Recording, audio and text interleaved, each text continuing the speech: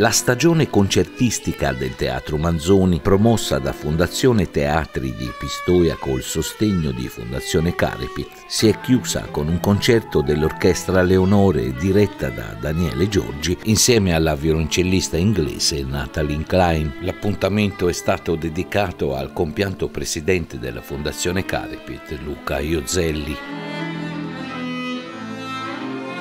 Abbiamo dedicato, come di consueto, questa serata a Luca Iozelli che dieci anni fa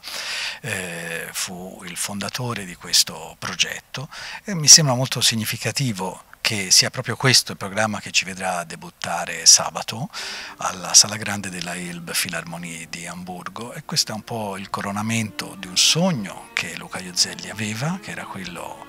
eh, di costruire una realtà che sapesse dialogare in maniera molto serrata col territorio, che il territorio sentisse come propria, ma al tempo stesso che avesse uno slancio internazionale. Colgo l'occasione per ribadire come ormai si sia definitivamente avviata anche dal punto di vista della ehm, formalizzazione giuridica la, la trasformazione dell'Associazione Teatrale Pistoiese in Fondazione Teatri Pistoia. Quindi siamo a tutti gli effetti una fondazione di partecipazione che opera in assoluta continuità con la quarantennale storia dell'associazione, ma che ha quei connotati nuovi,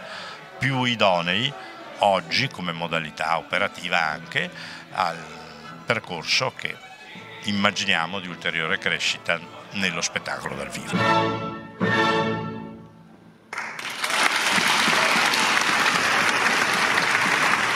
Per quanto riguarda la prossima stagione avremo molte sorprese in serbo per i nostri appassionati come sempre e più di sempre. Quello che posso anticipare sarà un'apertura davvero in grande stile, nel senso che in omaggio ai 200 anni